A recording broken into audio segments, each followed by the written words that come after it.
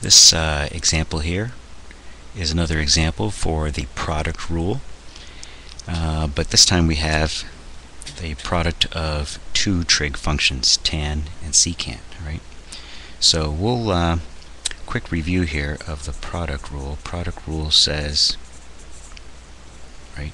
Product rule for a derivative says, give me the derivative of the first uh, part, we'll call this first part f, and we'll call the second part over here g, right?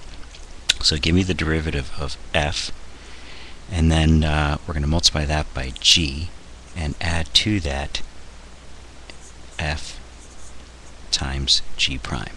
Okay, so if this tangent here is going to be our f, and if secant is going to be our g, then we can find the first derivative. All right, so here goes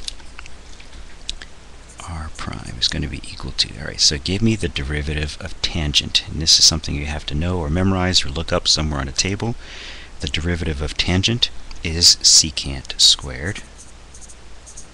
Alright, so secant squared of theta times g, right? So it's f prime g, so times g, which is just secant theta. Alright, plus, now give me the f function, which is, in our case, just tangent of theta times g prime, right? But g prime in our case is the derivative of secant, and the derivative of secant is secant itself times tangent of theta. Alright, so let me clean this up just a little bit more here. You can see that, look, I've got, for this term here, I've got three of these secants, right? I've got secant squared times secant. I really have secant cubed theta. And over here, this is not a this is not a distributive property. It's just it's just this stuff times this stuff times this stuff. So you know it, this is there's no addition or subtraction going on here. This is not distributive property. Okay, so I hope you see that over here I've got two tangents or tangent squared, and I've got a secant theta. Okay, well you could stop right there. You could say, look, there's our answer. That's probably as far as we can go. You know, if you want to get fancy and you want to take a secant out, I guess, of these two terms, you can do that. So let me show you that other option of writing our answer. You can take a secant theta out of both of these terms. So leaving you, if you took a secant out of this one, leaving you with secant squared theta. And if you took a secant out of this last term here, you'd simply be left with tangent squared theta. Okay, so I guess both of these are equivalent answers.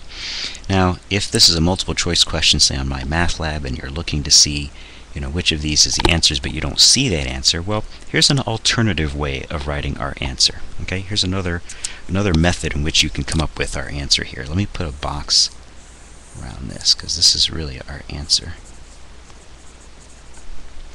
But let's see, if there's another way we could we could come up with this.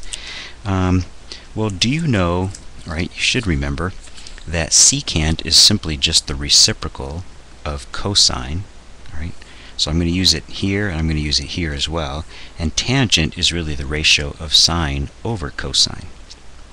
Okay, so I'm going to show this. Well, maybe I can squeeze it here on this same paper here. So instead of writing secant out, secant theta out front, how about we write it as 1 over cosine theta? Okay, we can do that. And instead of writing secant squared theta, I'm going to write that over 1 as, as 1 over cosine squared theta, right? It's just the reciprocal, that's all. And tangent squared theta is simply the ratio of sine squared over cosine squared. Right? So that's not so bad either. Okay, now what's interesting about this is that look, inside this parentheses here I've got two fractions and the denominators are already the same, right? Same denominator. So how about instead of writing them as two separate fractions, how about we write them as one fraction? Okay, so inside the parentheses I'm going to write this as 1 plus sine squared theta all over my common denominator of cosine squared theta. I can do that, right?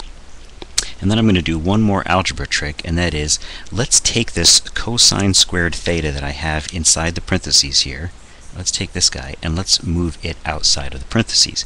In other words, right, when you multiply fractions, you multiply straight across, right? You multiply straight across. So I'm just going to multiply the two denominators, but I'm going to move them outside of the parentheses. So it's going to look like this. outside the parentheses now, I hope you see I've got 1 over cosine cubed theta, right? Because cosine theta times cosine squared theta is cosine cubed theta.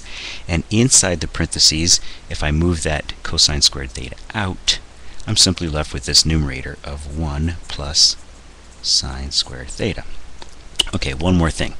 How about we take this reciprocal right? How about we take rather this 1 over cosine cube theta and let's just reciprocate it. So I'm just going to flip this over and I hope you see again the reciprocal of cosine is secant, right?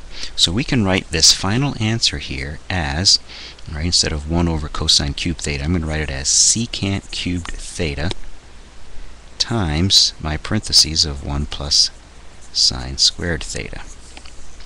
There we go. So I've got another form of the exact same answer. Okay, so I'm putting my answers in a box here.